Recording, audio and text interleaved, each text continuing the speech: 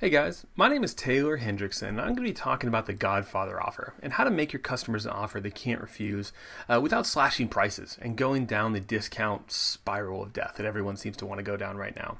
I think this is probably the single most important unfair advantage that we have today in the world of business. It is immediate leverage you can apply to any business model, whether that be e-com, lead gen, services, agency stuff, doesn't really matter. All this really comes down to is you're asking your customers or your potential customers a question and you're asking them for something in exchange for something else. You're wanting to make that single question make be as easy and fluid as possible. It usually adds zero cost to your business cost itself or your you know, product delivery cost, whatever it is. Um, and it makes price a second thought in their minds because all the price is is telling a story about that single value exchange, saying, hey, if you give me this, I'll do this for you, or whatever that may be. This also ex- will hopefully move you away from being the discount whore that we're seeing today on Facebook and social media with everyone running flash sales and limited inventory, even though everyone's just drop shipping from AliExpress anyway. Uh, first off, who am I? My name is Taylor Hendrickson. I've been in the game for about 11 years, working full time online. Um, big WordPress um, dev backend and shifted all the way to now we run about five or six different companies um, in the lead gen e commerce space, and we're kind of the bolt on marketing engine for a number of other partnership businesses. Um, I think, you know, out all the skills that we have, you know, uh, me and my team drive a lot of traffic, um, both on Facebook and Google can build out full funnels. But I think that the biggest thing that I can bring to the table right now is offer architecture and kind of the strategy behind it. So it's a piece of marketing that comes out and is that weird little intrinsic space that nobody really knows how to define very well. And most people think it's just making them a discount offer of 30% off, whatever it is. But we're not going to be talking about that today. So I run this companies full time. I um, also advise a couple private equity firms um, in the multi hundreds of millions and billions of dollar uh, space, as well as a couple startup funds um, who are incubators or whatever. So I know a lot because I've seen a lot. Um, I certainly don't know everything, but I'm going to show you um, in today what we're going to be doing. So first off, what this is not is a bunch of tactic porn. Uh, this is one thing that obviously plagues the internet. The nice clickbaity headlines of a three-step formula um, to instantly double your odds on Facebook. You know, the old adage goes, teach a man to duplicate ad sets 10 to 15 times, he'll eat for a day, but teach him to understand the algorithm, he'll eat for a lifetime. I, I, don't know. I just made that one up, but that's not really what this is going to be, unfortunately. And this is also not going to come from the IM echo chamber. I think too often we just hear the same things, just see the same things um, within you know the Facebook groups and the offers that we see on Native. That we kind of get stuck as that's the paradigm. We can't really think outside of that. So what we're going to be going in today is actual real life examples of what we're using in legitimate businesses, as well as what large multi-hundred million dollar public companies and stuff are using, and kind of everything across the board. So you can see the full spectrum before you go back and apply it to your own stuff. What this really is going to be is how to think and that's the most important thing I want to stress today, is this is a framework or a five part toolbox for how to go through and stack an offer based on your specific situation. Not all of these are going to apply to every offer or every business, but is a way to, you know, this is your toolbox that you can go out and attack things with and how to think about it before you go out and implement. Because again, you can just try to throw a discount at somebody and it's a tactic, but it's not necessarily the best one for every situation, especially if you're trying to go with more of a premium, you know, positioning and everything else. And we're also going to go behind the why behind those with 10 specific mechanisms. So again, the toolbox is more like a theoretical foundational pieces. The mechanisms are actually things you can implement today. Um, again, real life examples, and at the end, we're going to go over the 80 20 of all of this too. If you had to sum everything down to one specific piece, this is the ninja shit. So, what is your offer starting off? There's a whole, here's the writer downer for the whole presentation. Your offer is not your product. Again, your offer is not your product you sell or how much it costs. That's the big thing most people think of. Like my offer is just how much I'm going to offer my product for. That's not it. Your offer is the value exchange surrounding your product. That's the writer downer. Go write it, tweet it, whatever. I don't I don't tweet, but that's something you can tweet. Or that's something to keep in mind and fully ingrained when you're thinking about an offer. What kind of value am I giving to my prospect, to my potential customer, in exchange for them paying money for it, or committing to it, or paying in other currencies and in their attention and their money and their time um, and their investment, whatever that is in exchange for what I'm giving them. You can think about it like this. So, we've all heard that marketing is basically anything you're doing in sales is basically taking somebody from an undesirable before state to a desirable after state. Your product, your offer is just the bridge in between those things. So they want to get from one place to another, whatever that may be. And luxury products, that's going from being less, you know, important and distinguished over to more important distinguished. This could be solving a pain. This could be, you know, solving a I can't grow because of this all this is is getting them from one state to another. It's not about you. It's not about your company. It's not about your product. It's what you can do for that customer. And unfortunately, because you know marketers you know ruin everything, there's sharks and shit underneath, which is why only two percent or so of people actually convert to that final desirable state with your offer. So as marketers, as business owners, we need to deeply understand this specific piece of it. If we can't get them to where they want to go, doesn't matter how cool your product is, it'll just be another neat product or gadget or gizmo that they're not going to really want or is more of an impulse buy, which will get destroyed and, and you know, obviously in a down economy like this.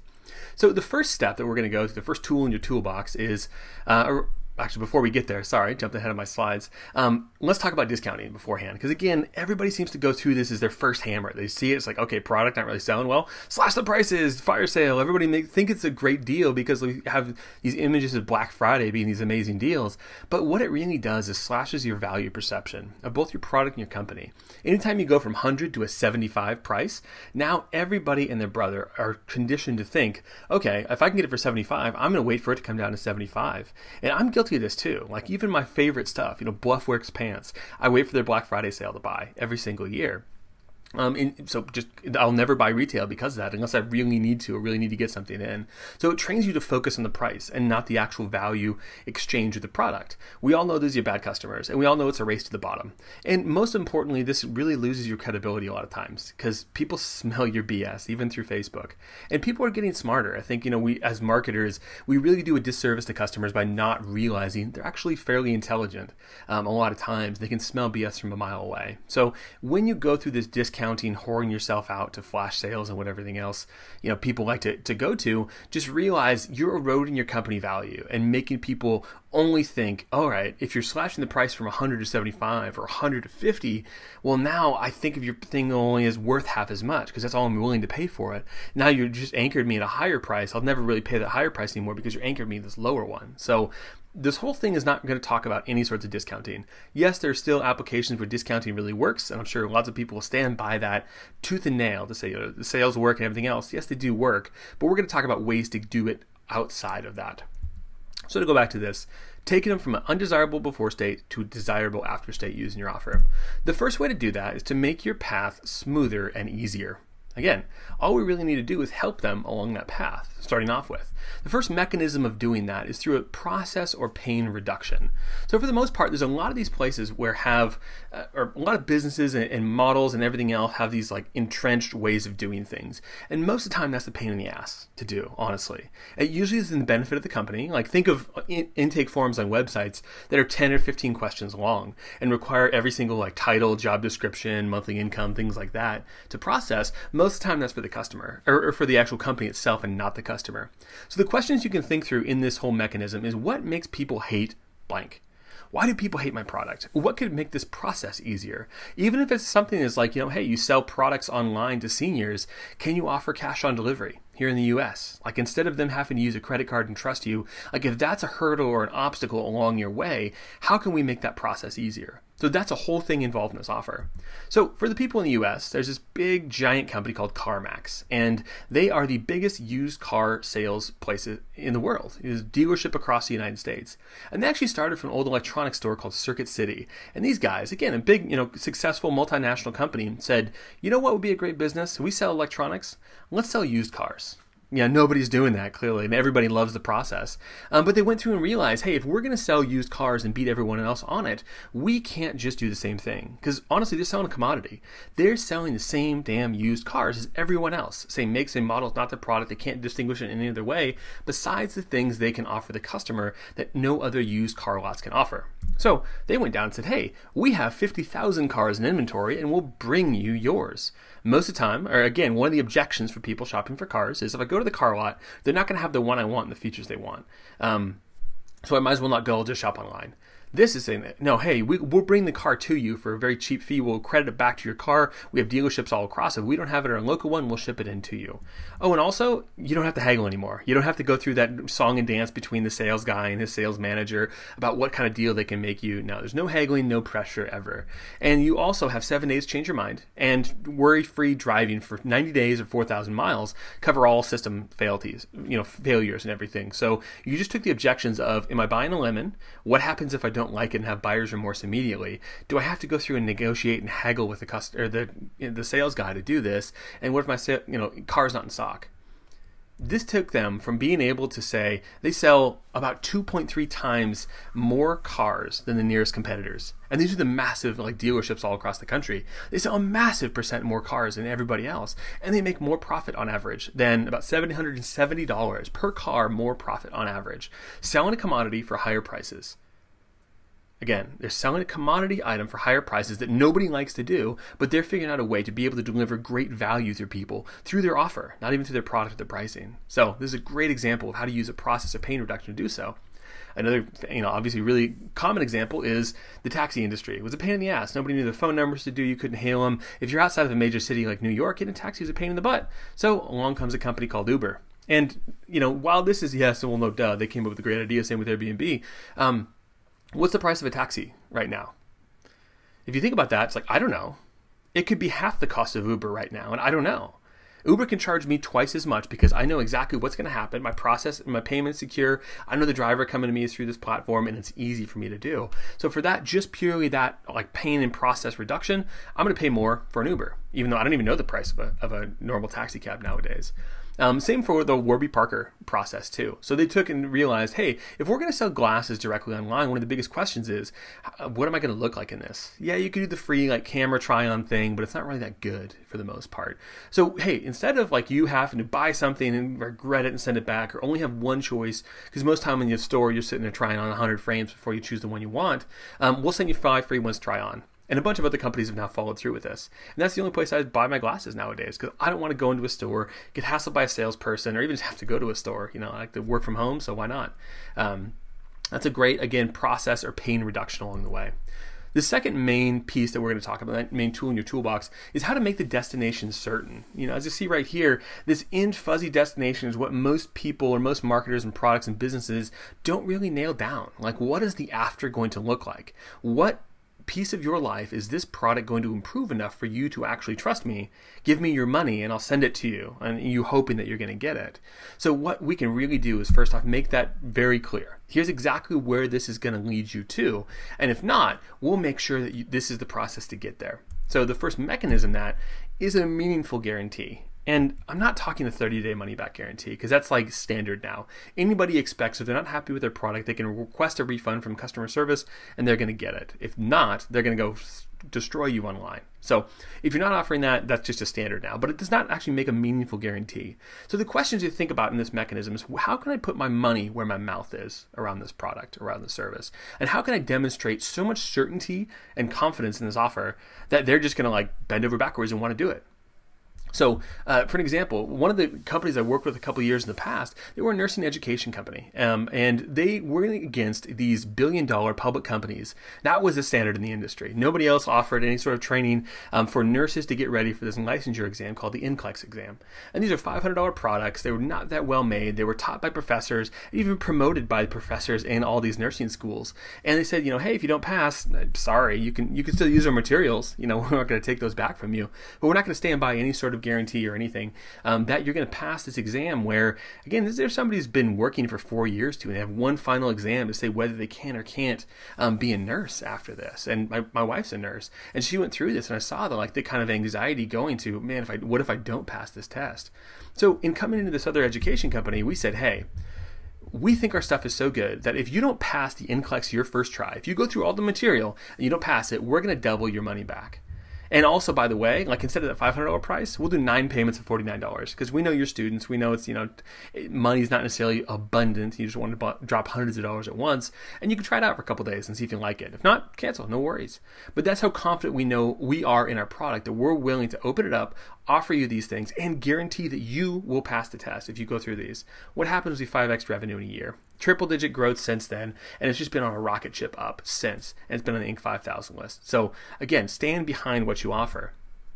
We like to also send out some direct mail. I love handwritten direct mail. We bust out um, a couple hundred of these a day, um, looking to increase our capacity. And this is one of the letters we send out. Um, it's for a company called Fee Fighters, and basically it's a company who goes through and negotiates your um, credit card processing rates for you. And we specifically target local businesses. And we'll say, hey, if I can't find you at least thousand dollars in savings for your pest control company, then I will pay you thousand dollars in cash. Simple as that. So anybody who gets this letter now suddenly realizes, oh crap, another credit card processing company. Now we stand by this and say, hey, we will stand by and pay you these things. That's how sure we are in the price that you are overpaying and we have a better deal for you. Great company called REI here in the United States and probably elsewhere. They're somehow able to sell recreational equipment, outdoor equipment, gear, coats, jackets, things like that at retail prices, which is obscene. You can get a button-up shirt for well over a hundred dollars. Um, but how do they do that? Like, how does it? Like everybody else is going through this discount slashing, you know, Dick Sports or REI or um, Big Five type of models. Nobody wants to pay retail price for these products, but somehow.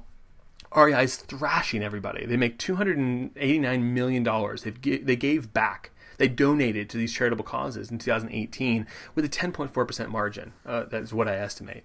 Um, when compared to everybody else, 1.2% is about the average for the um, the recreation industry like that. And they make two to eight times more per store than any competitors. So how do they do this? How do they sell the price for a lot more? They're selling the same things, not even their own brands for the most part, at a much higher prices, and they make much better margins all the way across the board. They do this because up, up until about a year ago, they had an unlimited lifetime guarantee. If you didn't like your product, if it broke, if it wore out, anything like that, you come back and take it back to the store for exchange, store credit, whatever that may be. So people were literally using the tent for 20 years, coming back and bringing it back and trying to get a refund. They recently had to bring this down only a year's time. But it's a no questions asked. Like if something doesn't work out, if it breaks, if it's even just like questionable, no questions asked, they're just going to give it back to you.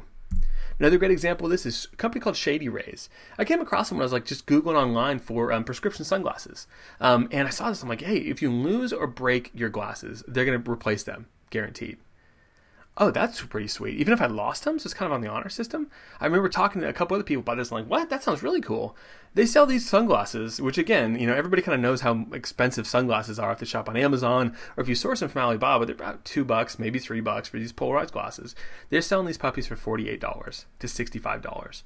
So they can go through and like, hey, you know, all you have to do is pay a small processing fee. But what this does is eliminate the surety of like, hey, what if I lose them? What if I break them? That's why most people don't buy expensive sunglasses because of those two reasons. It's not worth it to keep replacing them. These guys will do it automatically, and I guarantee you they're probably profitable on that um, exchange processing fee also. So the next part of this whole thing is how to make the destination more reachable. So again, most of the time when you're asking somebody to go from this undesirable before state to desirable after state, you have this big gap that needs to be jumped by them, or needs to be like you need to trust them to walk over your bridge on sharky waters. How can you make it so instead of like all that distance, you can say no, we're just going to go a little bit. You know, we don't have to run 100 miles. We're just going to run this first mile first. And then after that, we can look at the next mile, and then next mile, and next mile, and after that. So one of the mechanisms we use for doing this is something called splinter offers. So you take your core product and be able to say, hey, here's everything we offer. We're going to slice off a tiny little part of that and offer that in the front end it's not a discount. It's not like you're offering like, hey, introductory rate of this, and then it jumps up to this. It's saying, hey, we think our like whole product is amazing. We're going to take this one piece of really high value um, that we can slice off, a small piece, and be able to offer it for an easy, low price or low, mostly a low friction offer. So most of the time, like your offer is big and it's kind of confusing. Of like, you know, we're going to take this, we're going to do this, we're going to go through all these different steps. It's a big chunk to swallow. Again, every time you, you know. Um, guy who wrote StoryBrand, slipped my name right now, had a great analogy of anytime you're trying to get them to believe something about your product, your service, is like handing them an eight pound bowling ball. They can take one, they can maybe take two, but it's time they get to three, like their arms are full. So what this does is take and say, hey, now all that stuff aside, you know, yes, we can go and do all this stuff once we have trust later down the line. You know, we can look into that $25,000 service. But up until now, I'm just going to take a little piece of what we do and offer that to you up front so you can test it out and see kind of what the working relationship, what it looks like and feels like. And hopefully in a very easy or low friction offer with one tiny deliverable and one thing they have to believe. So, big company, again in the US, called 1 800 Got Junk started off. Um, and they basically had an offer. When everybody's switching over from those big old junky box TVs over to this new flat screen and plasma TVs, they basically made an offer and say, hey, we'll come take away that old obnoxious TV. We'll send two guys in truck out. We'll take it away for like 20 bucks, 25 bucks. I can't really find the price now because everything's been like mowed over, but that was a huge offer. Once they get there with a truck and two guys and they show up and like, hey, you know, we'll haul this, most times that's sitting out in people's garages. They haul it out of the garage and they'll say, hey, that looks like some junk over there too. You want us to haul that out? Well, sure, you guys are here. You got the truck and everything, and they start just like pointing. And you go back and look at the commercials. They relish the fact that all you had to do as a homeowner was point at what you want removed, and it was gone like that, just like disappeared because these guys were here.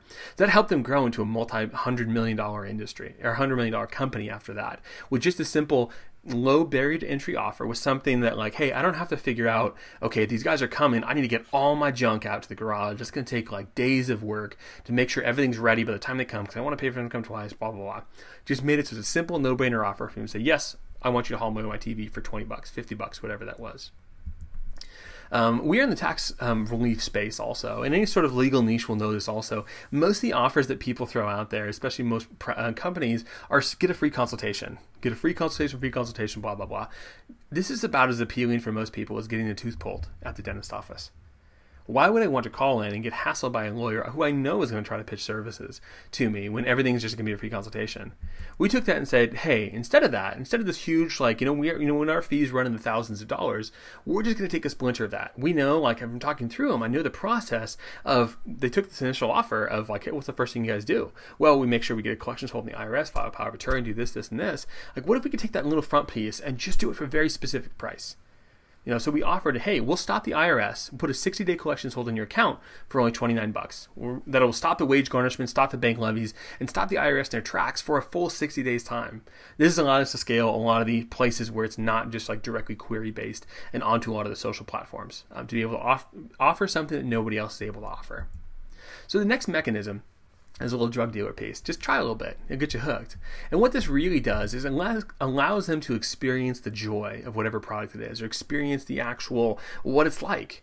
And then you're able to say and take that away and say, what does it now feel like that you don't have that anymore? What is this product like now like you tasted it? Now you really want some. So, great example of this. Whenever you sign up for a baby registry at Walmart, they send you this beautiful box of samples, free stuff. They're going to send you just for registering for their stuff. They send you this whole box supplied by all these different places. Because guess what? They want to get you hooked on Pampers. It's just a little bit of crack sprinkled on there. Because yeah, you want to use Pampers brand, not Huggies brand. Which, by the way, don't buy Pampers. Huggies is way better. But side side note, parent shit.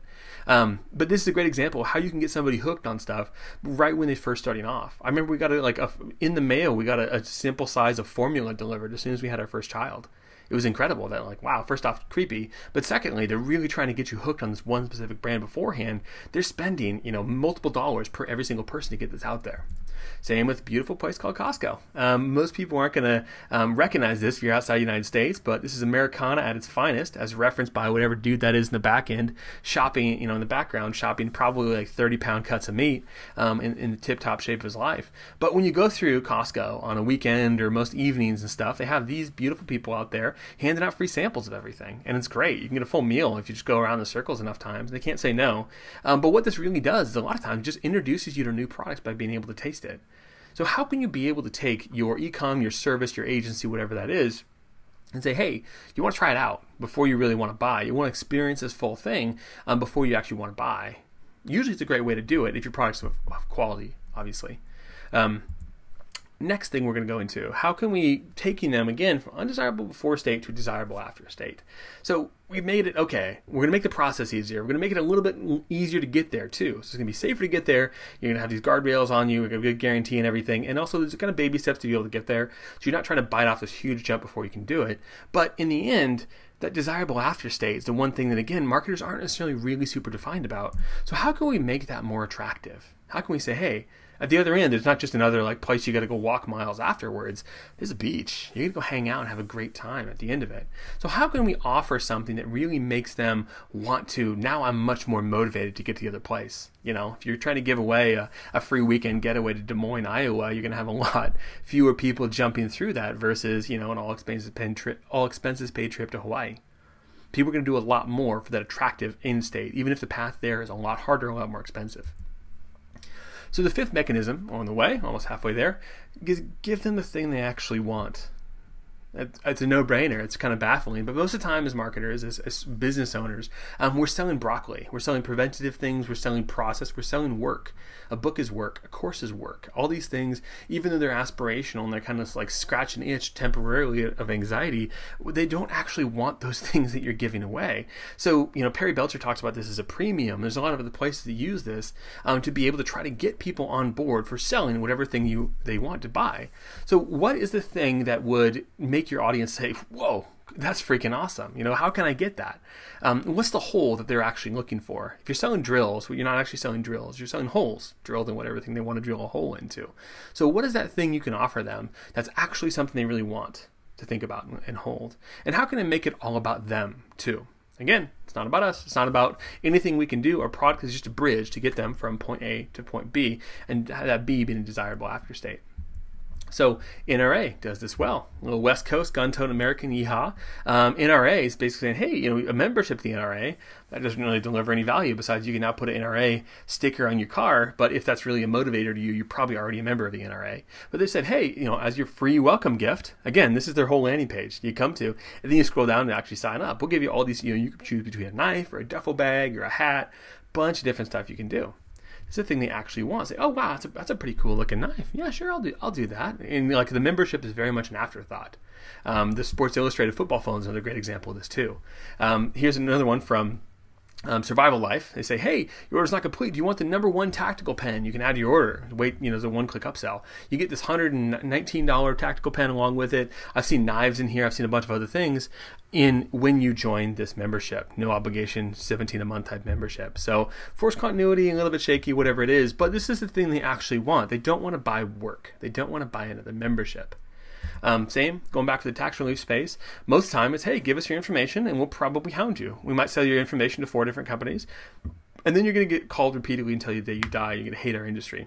Um, instead, we said, hey, instead of that, we want to offer an idea of your personal situation. How can we make it about them? We say, hey, we'll take, based on all of our data in the back end, we'll give you an estimate of how much you can save, which IRS programs you may qualify for, and then what you should do next afterwards. It takes about 59 seconds, and we'll ask a series of questions to kind of know where you stand this is an amazing tool. It makes it so people actually want to fill out an online form instead of just like, if I fill this out, I know I'm just going to get hounded. And everybody's kind of getting to that point also.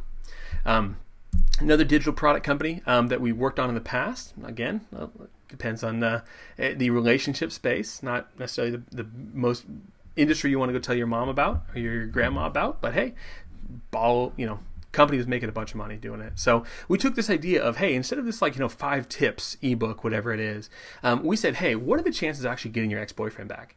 And this is the burning question that every like teenage girl coming to this site who had deep anxiety about her ability to get their ex-boyfriend back was, you know, their mind was racing on. It's like, can I get him back? What's the chances? All this stuff. So we put out like a 30 question quiz and it crushed it. Front end conversion rate was insane. We use it for front end paid traffic and everything else. It was the perfect segue to either both pre-frame the questions that we were getting to or the solution that we were getting to, as well as give them some specific information on kind of a weighted system of like, all right, based on everything we've seen on your age, on their age, on how the situation, and everything else, here's what your chances are looking like. So it's a great offer to give them personalized information on that. Next mechanism for making the destination more attractive is how can you use high end or exclusive offers to do this? And what this actually really comes back to, any sort of luxury product or high end product that people are trying to pitch, um, all it really is saying is how what does this say about them as a customer? They have high taste, they're able to afford it, they're successful, they're doing well, they're valuable, is what they're really looking for. So, how can you sell jealousy and whatever it is? Or how can you sell the fear of missing out? You know, it's kind of different mechanisms for every person based on what they're really motivated by. But for most high end stuff, this is a great way to think about it. You know, obviously, if you have a name like Gucci, you can sell a swimsuit that you can't even swim in for $380. And guess what? It's sold out online. You can't see it behind my arrows because my face is in front of it, but it sold a $380 swimsuit online for that you can't even swim into. Supreme made a brick. They're selling bricks and garbage cans and just random stuff. And I think for the most part, they're just trying to figure out what people won't buy that they slap their name onto, which is kind of a silly, sad look at, at what people are, are going to. But they're able to throw $380 at a single piece of fashion wear. What does that say about them? How can you make that exclusive? Say, obviously, Gucci is exclusive At least it used to be. What other ways can you make it so this is a limited edition thing, this is a limited release thing, or I'm special. You should be jealous of how special I am. There's about 2,238 barbecue restaurants in Texas as of about 2015 or 2016. That's the last number I could find. But why does this place, kind of a dingy looking place um, in the middle of Austin named Franklin's, um, why does this make people line up around the block for anywhere between two and four hours before they open? They open up at about like 11 a.m. every day. And before then, if you're not in line by like 8 or 9, you might not get barbecue. They only make a certain amount. They make, you know, thousands of pounds a day, but people line up for the experience of this. Well, at the same time, it's probably, you know, they, they tell you the recipe. There's nothing special about it. Salt, pepper, and smoke. That's it. Same with everybody else in Central Texas. It's the same thing. And if you sat their barbecue side by side, you probably wouldn't even tell the difference. But because this is now limited and exclusive, this is where people are actually hugely motivated to take action and stand in line and pay a huge price in time. Or think about like our attention spans are in the seconds. They're willing to stand in line for hours to say they went to Franklin's, to have a selfie at Franklin's, take a picture of them eating at Franklin's. It's a good idea of like you know once you get a little bit of a name of like hey that restaurant has lines out the door you you know never going to be able to get in. Oh i need to go there. It's exclusive. I can get in. I can say that. How's the food? It doesn't matter. It's got lines out the door so, mechanism number seven. Rocking through these. Um, next one's a crazy no brainer. And this is kind of a form of a discount, but in the sense of this is something that is so kind of preposterous and out there. We want to figure out how can we make them feel stupid for not buying it. There's a famous example here that a lot of marketers are pointing to, but it's a famous Columbia Records example. And they said, Would you like to have 13 records of tapes for only a dollar? They were running some records and tapes and CDs. And in this time, they started making, I think it was about 15 to 20% of all the music sold worldwide through this offer they blanketed magazines and TV ads for, and everybody got in and got hooked. And this is the this is the grandfather of you know Rebill Nutra or Force Continuity Nutra of saying, hey, once you get in, like you jo- agree to join the Records Club at seventeen dollars a month, and we'll send you your latest record all the time. So even though they had this introductory offer where they were losing money on the front end acquisition of people, it was such a no brainer compulsion offer. And back in the day, it's really hard to cancel. Um, they got a tremendous amount of people coming in by just like, oh my gosh, they saw that. It doesn't matter who it is, doesn't matter what anything else that was on there. They're going to send you this stuff, and they got to be a massive multi-billion-dollar company because of that, doing billions of revenue a year. We do this in another business we have, specifically tax um, prep and tax um, consultancy for firefighters, saying, you know, you know, obviously we have the offer too, the, the big guarantee. If we can't find you two hundred dollars in savings, I'll pay you two hundred bucks in cash.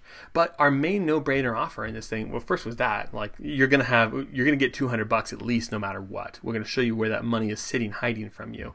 Um, I don't know where the rest I was going with that, but that's one of the offers too. It's like, hey, if we can't find you this two hundred dollars in, sa- in, in, savings, we'll pay you two hundred dollars in cash. So anybody who comes to this and sees it will just be a no brainer. Where they're like, okay, that's there's no reason they would not act.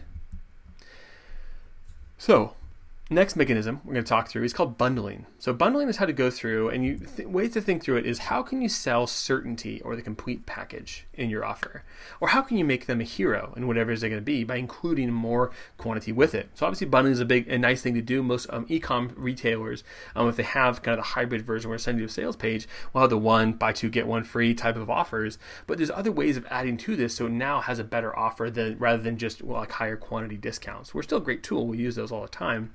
But how can you sell certainty or the complete package, especially when you can compile with things that you know that necessarily need? Prime example of this is bag salad. Anytime you go to the grocery store, you see these little puppies, and it probably costs about a dollar for the lettuce if you bought it retail, another 20 cents for the Caesar dressing, and another 10 cents for the croutons and cheese, whatever it is. Somehow they sell the thing for $5, which is like a 3.5 times um, markup for the same freaking stuff in the middle. But because you now have to say, okay, now I have everything I need and one, I'm willing to pay a premium for that thing. You think of the same thing with, you know, a component type pieces. You can go buy a single component, or here's the entire package. Everything you need is right here. You don't have to worry about anything. And most of the time, it removes that uncertainty and anxiety do I have everything I need? Do I have, you know, what pieces are included? Nope, there's everything you need for that certain thing. Great. You're selling certainty besides the value of your product, and you can oftentimes charge a lot more to do so. Another example for this is the masterclass. It said buy one and give one on us. So now the main cost of that membership is kind of negated we ended up buying this on this offer too. It was great. We gave it to my in-laws as like, hey, this is something you would really be interested in. So you made them the hero. You made them suddenly look really good in the in the eyes of somebody else. just by being able to give them something for free um, to include with it. We often do this with physical products too. It's like, hey, buy one, and then we're also going to include one for you to give to a friend to help them out, and you, they can solve the same problem you're trying to solve. So now it's like, okay, if I buy this, my, my destination that I'm trying to get to is now so much more attractive because not only do I get this problem solved, I get to be the hero. I get to be looked at as something really valuable, trying to recommend something great to my friends, or I can give them something for free. I can give a gift. Now, they could have even increased the price on this. I don't know the price of this before. They could have just doubled the price and say now it's just a buy two offer instead of just a buy one offer. But now you're able to like that one person's willing to buy one, and most of the time I'm willing to. Here's an interesting kind of anecdote on this also. I'm willing to spend a lot more on something if it's for somebody else than I am for myself. And a lot of people have that because not only does it like now, you know, great examples like the food delivery stuff. I'm kind of a cheap ass. So anytime I get the food delivery, like looking at it, I'm kind of doing the math and the pricing, like, hey, what is this compared to me going to the grocery store and versus compiling myself? So I have a limited price I would necessarily pay for that. But for my grandma, if I were buying the same thing for my grandma to make sure she has adequate nutrition during the day, it doesn't go hungry, it doesn't like go malnourished, I'd pay a lot more. The price becomes much less of a big deal because it's for somebody else. So you're giving a lot more than just your end product delivery. You're giving them the ability to be good to somebody else. So the last and final thing is how can you make the destination mean something? Yes, you can make it attractive, but oftentimes that's kind of a first level um, desire or need for somebody. Like, oh, that seems nicer than it was before. Obviously, it's got palm trees and stuff. Um, but you know, a trip to the beach is great and it can be really fun. It's nice to sit and relax. But what is that worth? It's actually the great memories of you and your family going to the beach.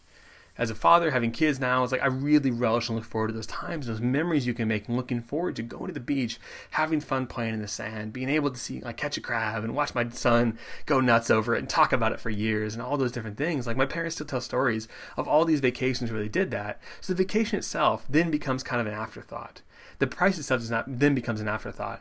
How can we make that thing we're selling or the reason for somebody to go across this bridge over shark infested waters mean something more? Be not only attractive, but mean something a lot more than it does before. So the first way we do this is through a, mech- a mechanism I like to spit is what is it worth to you? What's it worth to you? And the question you can say is like, how can we make them put a price on the pain of not doing it? What's the cost of necessarily they're in or the cost they're already doing it? And what's also the price on joy? How can you give them the joy? Or what is, what is that joy worth to them in the end? One thing we have is some home security products. So how much is stopping a home invasion worth to you?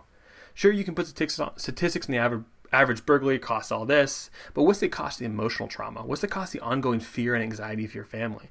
Or God forbid there's an assault or violence on somebody. What's that going to cost? Now you can solve it for the simple product that costs less than a fast food meal. So suddenly you just took the price and made it irrelevant because they're price anchoring off of not only thousands, but also all these really tough emotional pieces that can carry with somebody for a long time. That, scared little boy showing the prime example of it. You can also shift this around to the joy side. How can you give the joy and the confidence of a home run? So this is a batting, a hitting education company. They sell a membership. They don't sell any physical products or anything, but it's one of the best hitting instructors in the game. And what he does is not only just give them more power, because hitting the ball further, what does it actually even mean? You hit the ball a little bit further. You won a game where you ran around a base and hit a ball around people. It's just a game, and it's going to be forgotten afterwards. But what this really does is give joy and confidence to that young hitter, which will carry through the rest of their life. You'll have more success, build more fun, hit more consistently, and that'll carry through that confidence to be, them being able to say they can do anything in the future. And by the way, something a $400 bat can't buy. So we're initially price anchoring high. If you're already trying to buy things and do things with that, you know, your alternative is you can buy a $400 fancy, you know, new technology bat. That's not going to fix a $4 swing. That's one of the lines we use too. It's great. So next one is going to be able to use price anchoring. And there's ways of doing that too, where you're able to say, not necessarily just like, here's where our competitors are and anchor it down, but most of the time it's like, what are they already spending on? Where are they, how can we, what are the price of those alternatives that they're already doing? So either what are they spending on already around this subject to make it look small in comparison? What's the price of some of the alternatives they're doing to get, try to get to the same destination? You know, if they're already crossing this other bridge, it's way more expensive. How can we position our product as a lot more of like, hey, you're already doing this other alternative, it's a lot more expensive? Um, or what is the cost of failure? Look like? Again, if you don't do this, what's the what's the risk? What's everything involved? You know, if, if in the Star Wars um, saga, if there wasn't an actual like evil Death Empire, you know, the Empire and Darth Vader going through, that could, you know, the risk of them not destroying the Death Star, where the whole galaxy's gonna be taken over.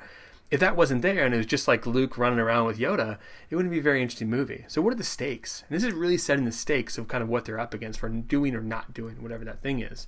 So, price anchoring can be held in a couple different fashions going back to the baseball example, the hitting coach um, is you know you already are spending about thirty seven hundred dollars per year on travel baseball stuff between all, everything else that's on average all the way up to eight thousand. And but how much is that game winning hit worth? Would you pay the whole season for just one of those hits? The look of joy and elation on that kid's face when he comes back and has done that thing. You already spent four hundred dollars on a new bat, but it can't fix your four dollar swing. Our lowest price is seventy four bucks. You can get started for a dollar today. So we're walking all the way down to like, first off, what's that worth? What would I pay for it? Thinking of like, oh, putting a pain or price on the joy, but now bringing it back to here's what it actually costs. It's a fraction of that. In the tax prep company, again for firefighters, for ladder tax, we try to figure out first off, most people use TurboTax. Most people use this free, guaranteed $0, $0 file it's pretty damn hard to compete with free and try to make any money at it. In fact, it's you know almost impossible sometimes. Um, or even H&R Block, who charges you know 60 bucks or 70 bucks to file their taxes. But the way we position it is realizing, okay, you can go to these places and file for free, but it's going to cost you a lot more actually because they're only just going to file your paperwork. They're not going to ha- help you actually plan for your taxes or help you save on taxes right away. Most time they're just going to be this like one size fits all system, and by the end of it, it was free, but you paid $500 extra in taxes than you should have. So how free is that? So we're able to say, hey, even though like now our price doesn't necessarily matter, as long as your savings are going to be much higher than that. Most time we have ways of saving people anywhere from three to five thousand on their taxes.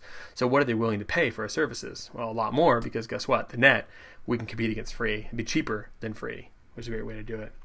And to jump in on a couple ecom products. We'll talk about this just because you know I haven't really touched on some of the ecom stuff very much. Um, so we'll take a couple of the GiddyUp products and go through these and how you can price anchor these things to specific. You know, here's some angles we would work at or how we can you know position these in the front end. So FIXD is this like you know mechanic. Um, it's your car diagnostic tools. You plug it in your car, you figure out exactly um, what is wrong with your car. So it's like hey, you know you can avoid losing thousands to dishonest mechanics for only 49 bucks. Very simple. Everybody's kind of gone through that pain of not being duped, especially. So not being duped, not losing money. There's a couple anchors you can price on it. Say, hey, what is what is being duped by a mechanic? What is that worth to you? What is it worth paying not to have that happen? For the visor, it's their heads-up display, just like I put on your dashboard, and it reflects up there, um, so you can see without having to look down at your phone, your navigation. You know, what is it worth to prevent the pain of a twenty-five thousand dollar car accident for only fifty bucks? Or you can prevent the pain.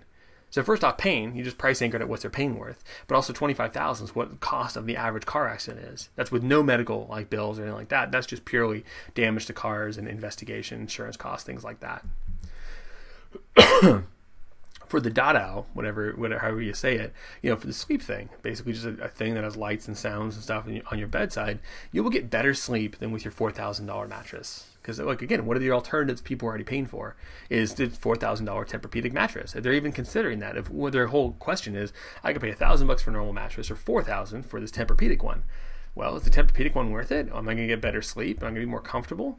Um, also, this will help you 2x your performance at work. Well rested, you're going to perform a lot better. You can make a lot more money. So, with this simple $50 tool, whatever it is, this is how you can get this price anchor against those other much higher alternatives of both you know cost pain you know it's going to pain you to pay $4000 but you get this potential much bigger improvement at work and lastly, this cool thing called the neck hammock. Um, this is basically $1,000 of chiropractor visits for 49 bucks. This will adjust you at home and get rid of the same pain of you're already paying thousands to go to a chiropractor and take your time to do for only 49 bucks. So you might as well try it before you really get into everything else. So those are the five mechanisms. And now we're getting into the ninja shit. This is the 80 20 of if you didn't pay attention to anything else in this whole thing, if you just want to figure out how can I really get down and motivate people to make it a impulsion to go out and buy, you know, just like to get the ferocity of Chris Farley in there, um, is how can you address the level three objections, insecurities, and whys of the audience?